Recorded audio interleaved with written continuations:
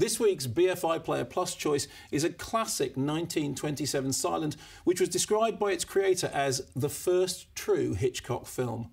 Based on a novel by Marie Belloc Lowndes, The Lodger, a story of the London fog, is a ripper inflected murder mystery in which a serial killer known as the Avenger preys upon blonde women.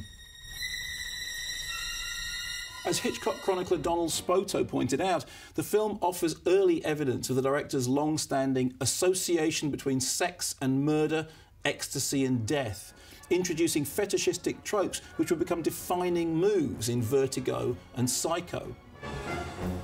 It also gave the director his first signature cameo, although he only appeared on screen when an actor failed to show up.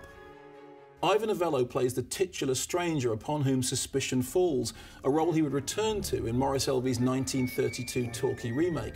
Producer Michael Balcon famously hated Hitch's original cut of The Lodger and fought with him over the ending, but the finished picture, re edited with Observer critic Ivor Montagu, was a hit.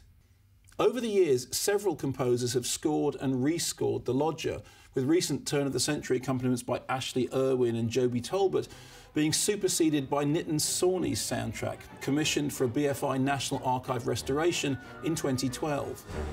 It's Sawhney's eclectic score which you're about to hear, with its nods to Bernard Herrmann, touches of 20s ragtime, and even controversially, an element of Indian love song to emphasise the romance alongside the tension and fear.